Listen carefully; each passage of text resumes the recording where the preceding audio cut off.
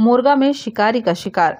जख्मी भालू ने रेस्क्यू से पहले तोड़ा दम। बुरी तरह जख्मी भालू एक सप्ताह से भी अधिक समय तक जंगल में भटक रहा, पर इसकी भनक वन विभाग को नहीं लग सकी। रिहायशी इलाके में पहुँचा तो उसकी सुस्त चाल देख अस्वस्थ होने का पता चला। कानन पिंडारी टीम को बुलाया गया, पर वे भी केवल पिंजरा लेकर पहुँचे। भालू को रेस्क्यू कर इलाज किया जाता। इससे पहले उसकी मौत हो गई। पैर और सीने में जख्म मिले हैं।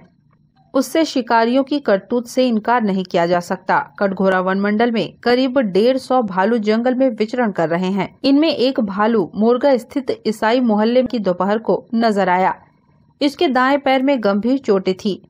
इसकी वजह से वह काफ़ी धीरे चल रहा था। भालू के सुस्त चाल को देखकर ही समझ में आ गया कि वह पूरी तरह स्वस्थ नहीं है। बावजूद इसके, भालू की मौजूदगी से मुर्गा क्षेत्र में खलबली मच गई। बस्ती के निकट ही भालू मृत अवस्था में मिला। शव परीक्षण के पश्चात यह स्पष्ट हुआ कि दाएँ पैर व सीने में जख्म के निशान हैं। प्रथम दृष्टिया इसकी वजह से भालू की मौत होने की आशंका जताई जा रही है। News desk, media for support.